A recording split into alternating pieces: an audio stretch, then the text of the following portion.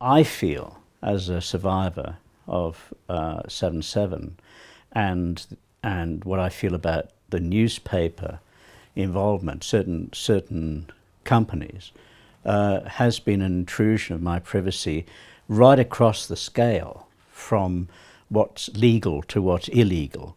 And I think it's highly unethical in both cases. The brief that Leveson was given to look at the culture was extremely important because it's that media culture, that corporate culture uh, for profit, that drives all of these things. So, what I'm looking to Leveson today for is a recognition of that brief that he had, and I'm sure he will.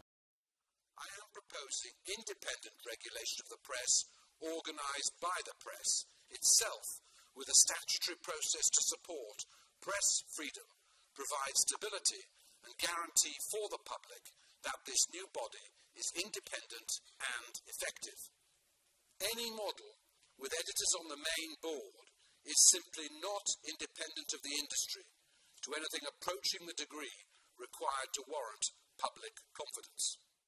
The judge has been absolutely adamant that the press should not mark its own homework. Those are absolutely clear laid down in concrete. What's not clear to me is the detail.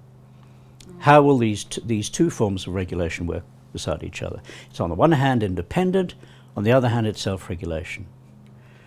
Now, the, it's the mechanism of how those work together and the overflow from one to the other. If it's an independent um, um, body which only deals, let's say, with things which are illegal in the present law, it will not have done very much to change press, uh, press culture.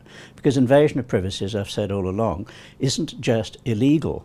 Some of it's been legal, and some of the things I've faced, like the use of my face without asking me, is legal.